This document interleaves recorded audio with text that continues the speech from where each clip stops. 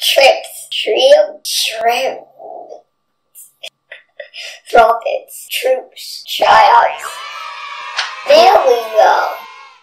But we call them prehistoric sea creatures. Now, why don't we feed these bad boys? They look like they could eat the whole container by themselves.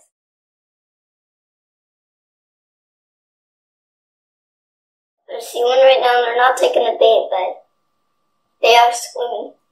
Let's see another one. Oh, there he is! I'm giving them little waves. I'm giving them little waves. See that? As you can see that they are getting their little waves, and I'm trying to make them get the bait, but they won't eat it. They're not hungry. It's like these things don't eat. I think these live in the ocean. And they're practically shrimps. They're pretty much shrimps. Ooh, they took the bait. They took some of it. I see some of it is gone. Won't touch it. I see. Hello, little guy. So the creatures are just swimming, and they're not eating that much. Oh, they're just swimming around the food.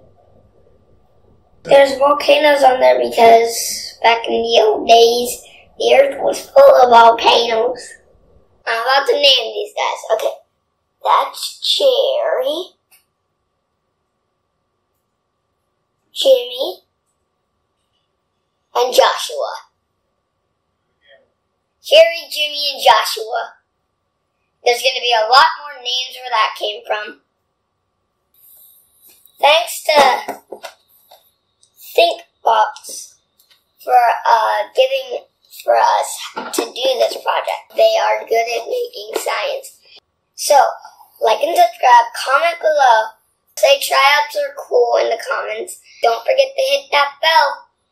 Yeah! Do you think these Triops are cool? Science is super cool. Only cool kids do science, or cool cats, you should say. Uh, this is the end of the video, and bye, guys. Like and subscribe. Hey, do you like science?